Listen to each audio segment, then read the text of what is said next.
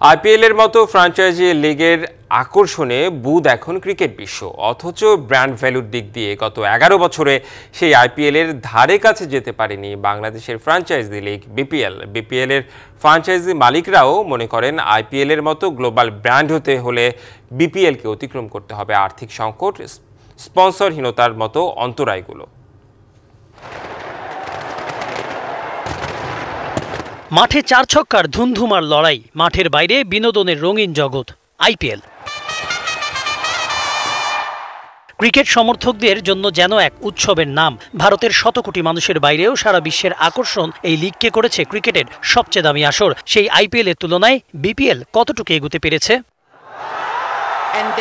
টুর্নামেন্টের এগারো বছরের ইতিহাসে হয়েছে নটি আসর, যেখানে এখনও আসেনি পেশাদারিত্বের ছাপ। একমাত্র কুমিল্লা ভিক্টোরিয়ান্স বাদে বাকি দলগুলোর নাম ও মালিকানা বদল হয়েছে একাধিকবার। তাই তো আইপিএল এর ম্যাচ দেখতে বসলে দীর্ঘশ্বাস সঙ্গী হয় বিপিএল ফ্র্যাঞ্চাইজি মালিকদের।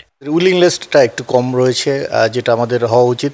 ওখানে দেখেন আপনার স্পন্সরশিপ অনেক স্ট্রং এবং দলগুলো খুব ভালোভাবে পারফর্ম করছে বিকজ তারা ওনারশিপটা মানে স্পন্সরশিপ ওনারশিপটা আছে। ওখানে ইন্ডাস্ট্রিতে পরিণত হয়েছে ক্রিকেটটা বাট বাংলাদেশে এটা এখনও হয়ে ওঠেনি।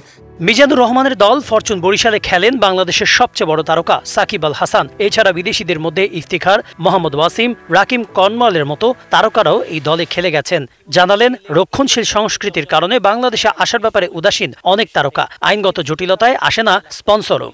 পারিপার্শ্বিক অবস্থা রয়েছে নিয়ম কানুন রয়েছে।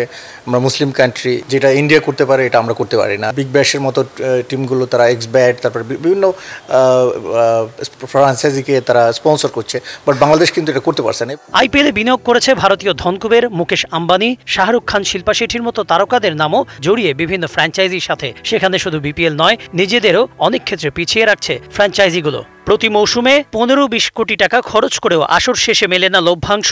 দুই হাজার তেইশ আসরের আগে রানার্স আপদেরও কখনো ট্রফি দেওয়া হয়নি। আমরা গতবার রানার আপ হয়েছে আমরা কোনো ট্রফি পাইনি বাট এবার কিন্তু রানার আপ ট্রফি হয়েছে। তো আস্তে আস্তে সব কিছুই হবে। Kanak Mahmud DBC news Dhaka.